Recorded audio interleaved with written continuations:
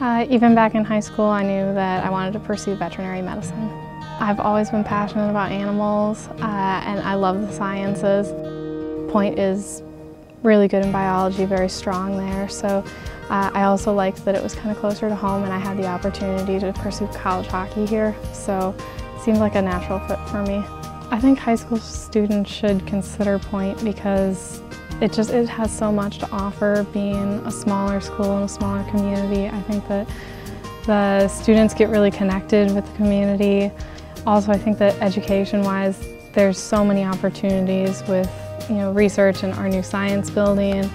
Um, I think there's just so many opportunities and a lot of great professors. Um, it's a great place to be. I'm Lisa Powell and this is my journey.